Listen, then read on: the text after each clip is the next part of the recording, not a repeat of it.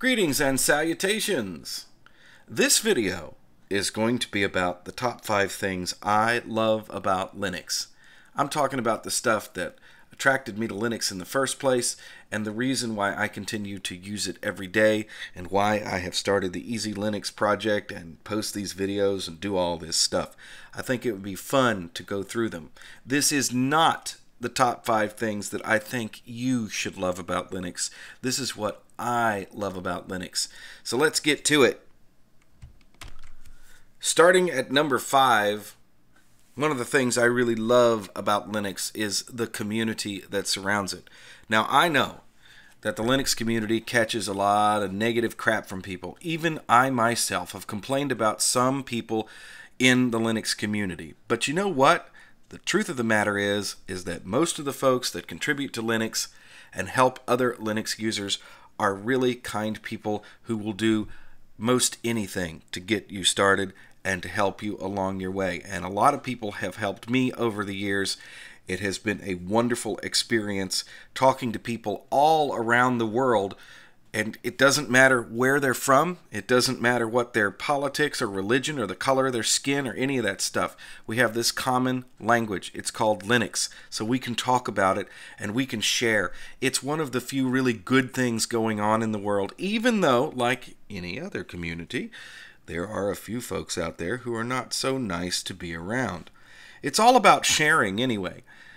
Linus Torvalds, the fellow that created the Linux kernel way back in 1991, could have very well taken his code and could have locked it down, could have tried to sell it, could have tried to license it, could have tried to make a fortune off of it. He didn't. He just gave it away.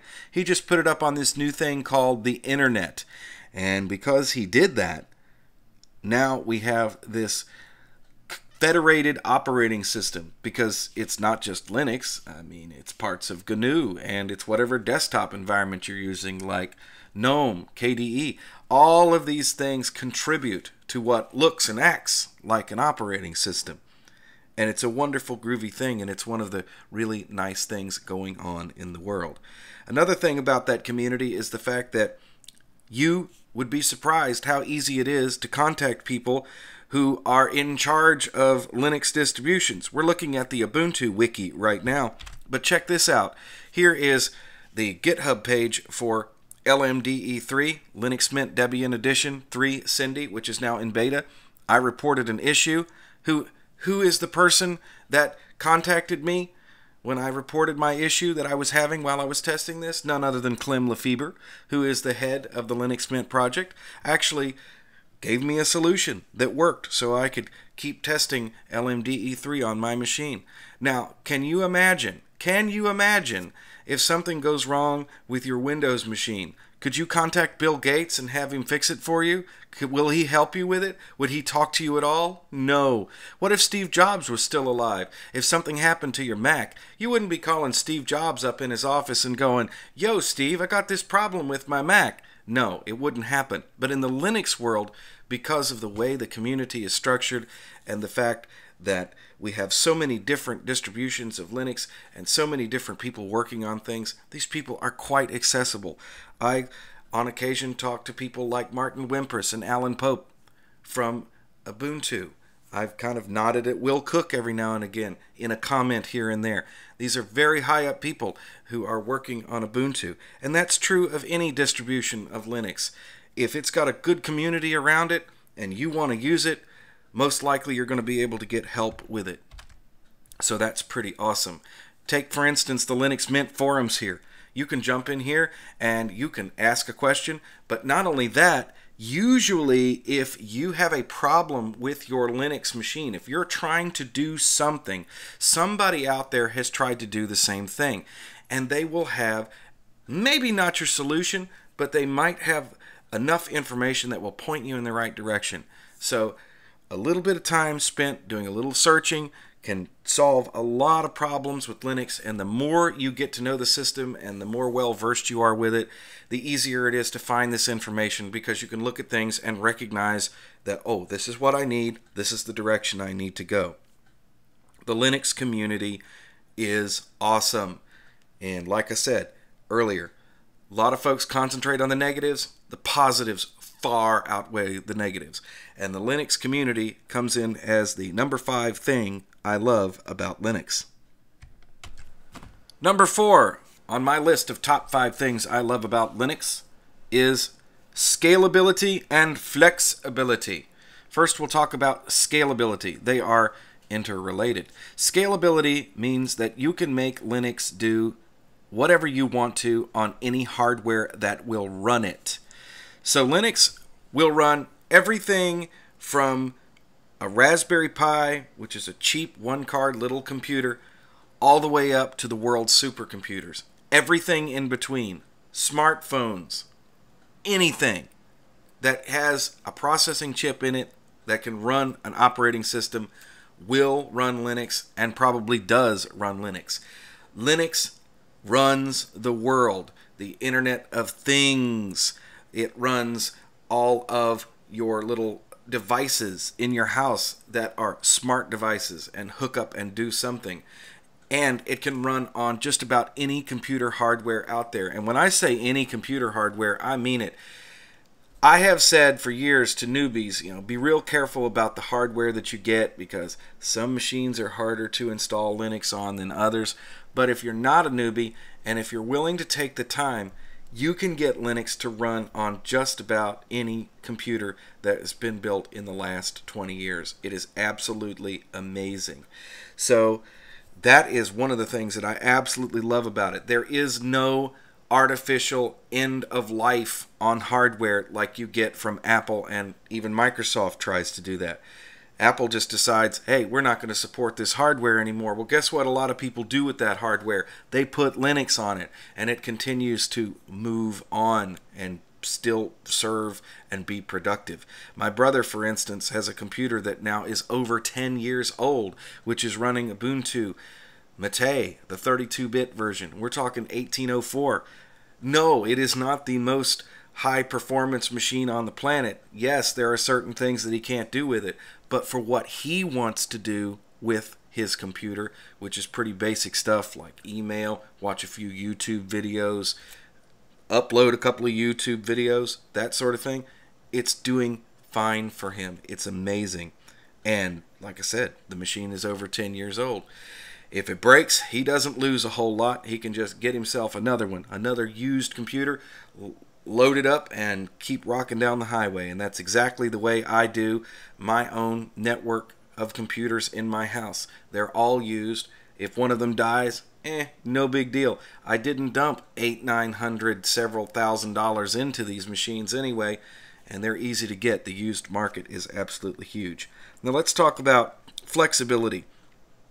99% of the people who use Linux, even people who are Linux power users, do not take advantage of the ability to customize the system that is available. Linux can be turned into anything that you want it to be. That's why it is so popular for things like kiosks, set top boxes, stuff like that, because it doesn't necessarily have to be a traditional desktop with all the bells and whistles and features. If you know what you're doing, you can make Linux be very focused on what it can do, or you can make it where it can do a huge number of things.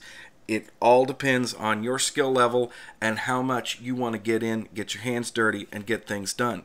What you're seeing on your screen is the bash RC file. Everybody who opens up a terminal gets a bash RC file. It's there, it's created automatically and you can go in and edit this file and you can change the properties in this file and different things that it does to make the system do what you want it to do. Now, of course, we're talking about when you open a terminal and you are running the bash shell. If you want to modify other things about the system, there are other files and other things you have to tweak, of course. But this is a really good example. So, for instance, I like to have a certain kind of prompt when I open up a terminal. I like a prompt that is going to be very compact and easy to see.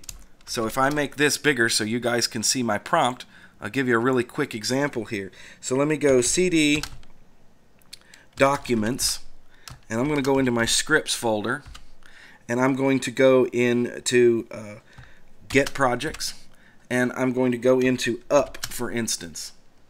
Okay, so this is my path that I'm going to go and look into. You'll notice that on my prompt, it only says up, whereas on the regular prompt that usually comes with Ubuntu, Linux Mint, and many other distributions of Linux, what you get is the whole path. Well, that's a little cumbersome. So I have modified my prompt to be very compact and only show me information that I really need. It shows that I'm logged in as myself. It shows that I am in my machine called Big Boy. It shows that I am in the up directory and it shows that I am using standard privileges. I'm not logged in as root and the dollar sign shows me that. All of that information on that one little prompt and you can put a lot more there if you want to. You can have it show you the time. It's endless. And that's one of the things I love about Linux. You can go and you can look this stuff up, you can learn about it, and you can make it do whatever you want it to do. So the number four thing that I love about Linux is flexibility and scalability. We're up to the number three thing that I love the most about Linux, and it can be said in one word bash the Bourne again shell. It is a universal language for communicating with a computer. A shell is a command line interpreter, which means that you type a command in and this program interprets it and then gives it to the computer in a way that will actually make the hardware do something. So it makes working with a computer more friendly and a lot more human because you're using a language. Bash is not only an interpreter, it is a language in and of itself that you can write programs in. Those programs are called scripts. And a script can be anything from two lines all the way up to six, eight hundred lines, as in the case of uh, XBT, the external backup tool, a program that I've written and is available for you to download. And it's just amazing what you can do here. Not only that, Bash is universal. It runs on every kind of computer in the world. It doesn't make any difference whether you're running Linux, Unix, Mac, Windows. Bash is available to you and it is extremely powerful. You can use tools in Bash like SSH and SFTP and FTP and many other tools to communicate with other machines to get information. So it, it, just absolutely incredible the amount of power that's at your fingertips if you take the time to learn how to use it. One of the things that I'm not down with at all are those people out there who are constantly bashing on anybody who uses a terminal and says, well, you shouldn't use a terminal. You shouldn't have to use a terminal if you're in Linux. It should all be point and click. You are throwing the baby out with the bathwater. You have no clue of what you speak when you say things like that because yes, the terminal requires learning, but once you learn how to use it, it is so powerful. You can get information about every command that you can run in the terminal. You can get on the internet and surf the web from a terminal using Bash, using programs that are designed to run in the terminal. There are people in the Linux world who don't run desktops. They live 100% in a terminal. So just to give you some examples, one of the things that you can do quite easily with your terminal is you can be working with your machines and finding out all kinds of information. You speak directly to the machine, you get information about what it is doing, and you can do in just a few simple commands what would take a lot of pointing and clicking to do. It is extremely powerful that way. One person said that graphic user interface type desktops make easy tasks easier, but the command line makes complex tasks possible. Because if you tried to do a lot of things that you want to do when you're administering a Linux system by all point and click, it would take you forever. Whereas you can write your own scripts, you can automate things, you can really get it down to where you do one or two little things boom, the system goes off and does what you want it to do. For instance, another program that I wrote, it's a little program called Up. Up automatically updates my system and it does a lot of other things too. So I can do this in one fell swoop. It's going out, it's checking for updates, it's going to install those updates, and it's going to tell me exactly what it's doing as it rolls along.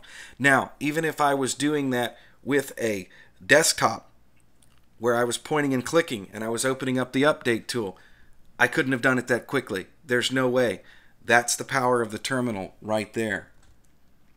Another thing is the fact that when you are working in Bash, you can communicate with other machines. This particular terminal that you're looking at right now is logged in to my web page server. This machine is not even residing in my house. It's somewhere out there in some data center somewhere all i know is it's around dallas somewhere dallas texas there it is but i have complete access and control of this machine so i can use my htop program there as well and i can very quickly see how long the machine's been up see it's been up for four days it's showing me all of the processes that are running how much memory is taken up all kinds of stuff like that and if I don't want to use htop, there are other tools. I can use the old top command. It's been around in Linux forever. There is a set of Linux tools that run in Bash or just Bash tools that are pretty much there no matter what kind of machine you sit down in front of. It makes no difference whatsoever. If you sit down in front of a Windows machine that's got an Ubuntu Linux subsystem running on it and you log into Bash, you can pretty much be assured that all of the tools are there. For my web server here, this is running CentOS. This isn't even close to Ubuntu. However, guess what?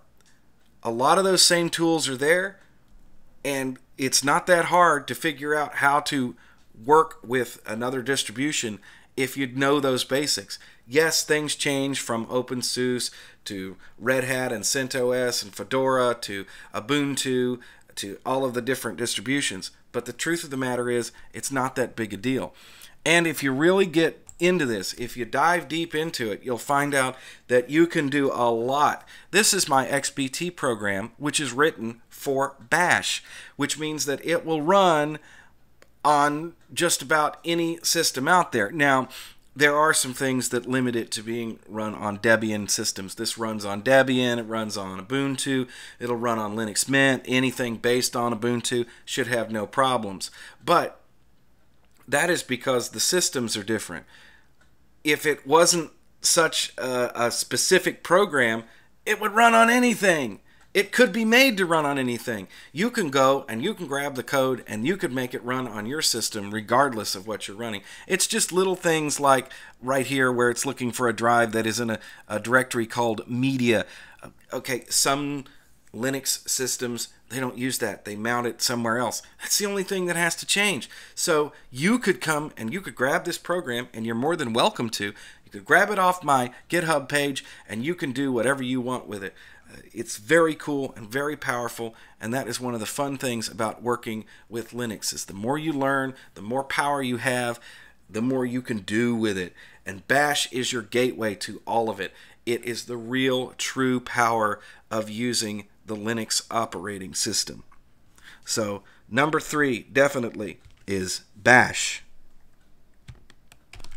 We're up to number two on my list of favorite things about linux and we are going to talk about file structure, also known as the file system or the file hierarchy, because it is one of the things about the Unix and Linux operating system that I absolutely love. Remember that Linux is a work-alike of Unix, so they share a lot of the same basic uh, things, you know, as far as how they're structured. And one of those things that I love is this file system. The concept is very simple. Everything starts at root. Root is represented by a slash at the top of your screen. And each one of these directories, they hold something that is important to the system. So this is a much simplified version here. etc is short for etc and it holds configuration files of some sort. Dev is where all of the devices are represented on a Unix or Linux system. Keep in mind that everything on Unix and Linux is a file. Even your keyboard, it's represented as a file. Your hard drive is represented as a file. The microphone I'm using to record this video, it is represented to the system as a file, a directory, a place where data is stored. Then we have the home directory, and inside that we have the you know actual people's accounts and where they hold their personal data and then we have directories within that Also, we have USR, which is not short for user. It's Universal System Resources, and that is where a lot of your programs and things like desktop icons are stored, something that all of the users on the system. And then we have the var directory, which is short for variable. The variable directory holds logs and unread email if you have an internal email system set up on your Linux system. The beautiful thing about this is the fact that this is once again scalable. It can be on a simple little desktop, laptop computer with a single hard drive in it, or it can be on a supercomputer that has hundreds of, of storage devices and different network connections coming into it. Each one of those devices and connections is represented by a folder. The concept of being able to mount a device in a directory or a file on Linux, that is so powerful because you can move things around. You can do all kinds of very interesting things. Not too long ago, I was doing some maintenance on my mom's computer. The way I had the file systems set up across different partitions, I didn't like that. I wanted to change it. I didn't have to reinstall everything on her computer. All I had to do was to change the fstab file, which tells the system where all of this stuff is and then I just moved the data to the new partitions that I wanted it to be in and rebooted and boom it was there. It's an awesome thing to work with. And it's one of the things that I really really love about Linux. Here's what it looks like on here's what it looks like on a typical Ubuntu setup. This is actually my Ubuntu setup on the machine that I'm working with. So at the top you'll see the root directory and we'll see more of the same of uh, the directories that we saw in the chart, which is behind this. This is the actual listing of what's on this machine. And you'll see that, uh, for instance, we have opt here, which is for optional software in Linux. Uh, we have a bin directory, which is short for binaries. This is where system binaries are stored, tools, things like that and then you'll see sys, which is a, another system directory. Uh, we have a root directory, not to be confused with the slash, which represents the root of the file system. The root directory is the home directory for the super user, the one user on the computer that has full power over the system. You have a temp directory, which does exactly what you think it should. It stores temporary files. And by the way, all users have access to the temp directory it's uh, not locked down. You don't have to be root to use it. And then I have listed the storage in my own personal home directory. And you see that I have uh, a directory called audio, which stores all kinds of non musical audio files. And then we have bin, which is where I put my binary files. We have chart hits archive, which is a bunch of music. We've got a desktop. We've got documents, downloads, all that stuff that you're used to. And then I have listed my bin folder in there to show all of the little uh, programs and things that I use on a daily basis. This is scalable. It doesn't matter whether you have one user or if you have 300 users. This file system can accommodate whatever you throw at it, and it is one of my favorite parts of the Linux system. So, the number two thing that I love about Linux is the file structure, file system, or file hierarchy whatever you want to call it. We have now reached the number one spot on the top five list of the things that I love about Linux. Can you guess what that might be? number one, Linux is free. And I mean free in both senses of the word free as in free of cost, and free as in free, as in open, as in they can't hide anything from you. You are free to do anything you'd like with Linux, and you are free to see what it is doing, and you are free to modify it at any time. It is completely free, and that openness is one of the reasons why we don't have to deal with so many different viruses and malware in Linux, because there's no place for those kind of people that want to do malicious things on your computer to hide. And if they do try and get something in there, the community is always watching the code and watching the projects, watching the packages that go into the systems, and it's caught pretty quickly. That is one of the main reasons that I switched over to Linux is to get away from the malware and the viruses that plagued the Windows operating system. It got to the point where it was absolutely ridiculous. I used to do freelance computing uh, computer work for people and one of the main things that I did was clean out Windows systems, either by reloading them or going through and removing all of the viruses. And since I have started to use Linux, and I have used Linux for 10 years, I have never, not once, had any of my machines come up with any sort of infection. It is absolutely a waste of time to be running antivirus on your home desktop Linux system. If you have a server that's going to be dealing with a lot of files that are going out to Windows computers and other diff- phones and different operating systems, then yes, you probably want to have some sort of virus scanning so you can catch things. But if you're talking about a home Linux system, you absolutely do not need any of that kind of software. Just running your updates and patching your system when vulnerabilities are found is quite enough to keep the bad people out. Now, no system anywhere is absolutely 100% foolproof, and if somebody really wants to get at you, they're going to do it regardless. But you are way less likely to have that sort of a problem with a Linux system than you are with a Windows computer or even a Mac system. Can it happen? Sure. Will it happen? Probably not. And let's talk about freedom in the sense of it being absolutely free. I have an entire household full of computers that I have built and installed Linux on, and my family uses. And the total cost for investing in all of these machines is probably at this point under a thousand dollars.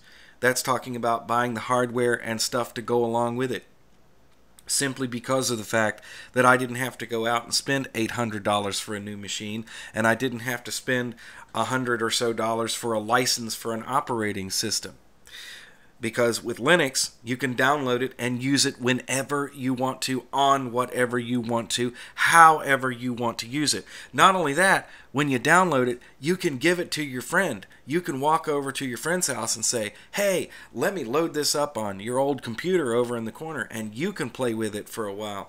It's encouraged in the Linux community. Absolutely. We want you to share what we do. I have written software which you can go and download off of GitHub and you can do with it as you please. As long as you follow the terms of the GPL 2, that's fine. You know, give me credit and send me your patches. That's all I ask.